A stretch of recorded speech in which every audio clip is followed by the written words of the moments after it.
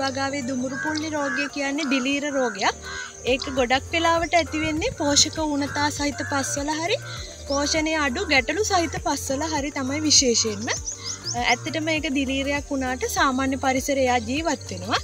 එයාට හිතකර සාධක ආවතින් තමයි පැතිරිලා බෝග හානියක් දක්වා වැඩි වෙලා යන්නේ. ඒක හඳුනාගන්නේ කොහොමද කියලා බැලුවොත් දුමුරු පොල්ලි රෝගයේ රෝග ලක්ෂණ තමයි දුමුරු පාට පුංචි ලප ඇතිවෙන එක පත්‍රවල මේක තල ඇටයට ප්‍රමාණය නිසා හැඩෙන් සමානයි කියලා අපි කියනවා මෙයාට මේ දුමුරු පොල්ලි වලට සමාන වෙනත් රෝග ලක්ෂණ තියෙන රෝගත් වී වගාවේ තියෙනවා.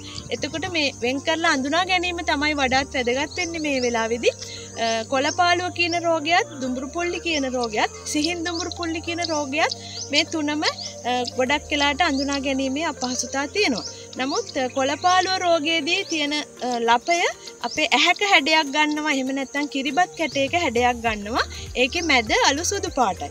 සිහින් දුඹුරු පොල්ලි රෝගයේ තියෙන රෝග ලක්ෂණ තමයි හීන් දිගටි ලප තමයි පත්‍රවල දකින්න හම්බ වෙන්නේ දුඹුරු පැහැති. නමුත් දුඹුරු පුල්ලි රෝගයේදී මේ දෙකටම වැඩිය වෙනස් තලෑටයට ප්‍රමාණයෙන් සහ හැඩෙන් සමාන ලප තමයි දකින්න හම්බ වෙන්නේ. මේක විශේෂයෙන්ම මං ඉස්සෙල්ලා සඳහන් කරා වගේ පෝෂක උන්නතා සහිත පාන්සු ගැටලු සහිත පස්සල තමයි වැඩියෙන්ම දකින්න හම්බ වෙන්නේ.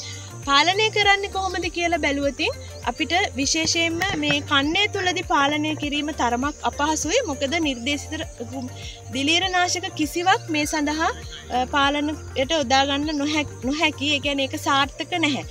නමුත් ඊළඟ කන්නේදී අපි හොඳ බිත්තරවී එකැන පිරිසිදු බිත්තරවී රෝගකාරකයන්ගෙන් තොර බිත්තරවී පාවිච්චි කරන්න ඕනි. හොඳින් බිම් සකස් කරලා මේ කන්නේදී පිදුරු රෝගී පිදුරු ටික කුඹුරෙන් ඉවත් කරගන්න ඕනේ. ඒක කොම්පොස් හදන්න පාවිච්චි කරන්න පුළුවන්. පිදුරු වලිනුත් ඊළඟ කන්නේට යනවා. බිත්තර වී වලිනුත් ඊළඟ කන්නේට යනවා. ඒක නිසා ඒ දෙක වළක්වා ගන්න එක ඉතාම වැදගත් වෙනවා.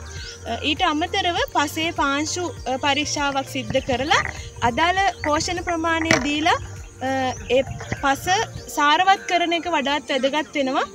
මේ රෝගය අවම කරගන්න නම් විශේෂයෙන්ම පාන්සු දියුණු කිරීම තමයි ගොඩාක්ම වැදගත් වෙන්නේ. මේ ක්‍රම තුන මගින් මේ රෝගය පහසුවෙන් පාලනය කරන්න පුළුවන්.